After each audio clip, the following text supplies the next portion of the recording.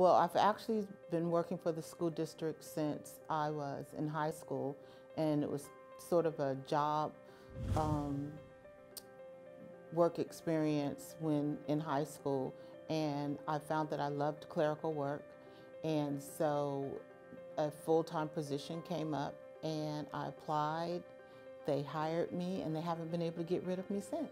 My day is never the same, so each day is a new day but I love my job. That's why I've been there 40 years. I love the staff, I love the children, I love the parents, I love the community.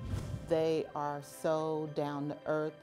Um, a basic day is attendance, phone calls, band-aids. Um, as an elementary school office manager, I'm a nurse, I am the vice principal, I'm a counselor.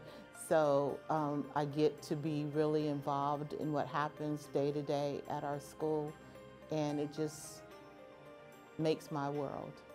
Well, I think the biggest is that I come from them.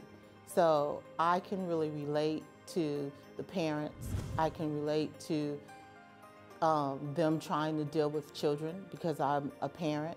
I can relate to the students because I grew up in a single family home and um, in what was considered a low income area. So I really bring a voice to the table for the parents and the children and a perspective that not all of the teachers and the administrators always get. So I think that's the biggest thing is that I have just a different insight on what is happening in everyone's life every day when I'm in the mall and you see a grandparent and they can remember something that you did that you don't even remember doing, but it really made an impact on their life. Um, I think that's the, the biggest draw, is that the children and the parents or the community remember what I've done, even when I've forgotten. The Beverly Hills Elementary School community, the parents, the students, the staff, because that's what our community is, the um, administrators that allow me to be me and do me the way I do it. And probably lastly, my family, because they have really um, allowed me to be me too.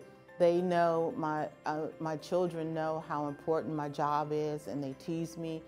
So um, I, I just think, yeah, that's who I would appreciate.